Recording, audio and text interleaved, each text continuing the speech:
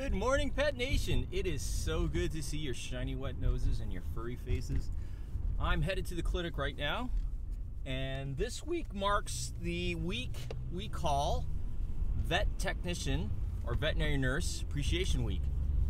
And it's a week that we get to really celebrate our technicians because they do everything. As a veterinarian, I diagnose, I prescribe, and I do surgery. And the veterinary technicians do everything else. And I mean everything else. So they're a much valued, needed member of the team. We couldn't do anything without them.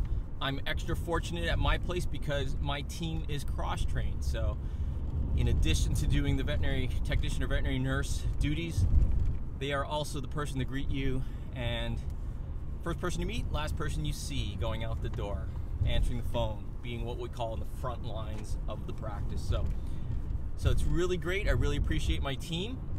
And so if you happen to be visiting a veterinary hospital, say thank you to the veterinary technicians. Veterinary owners out there, definitely say thank you to your veterinary technicians because you couldn't do anything without them.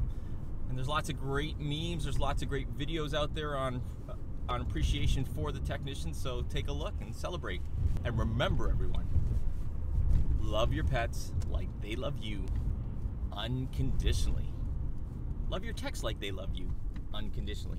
Have a great day.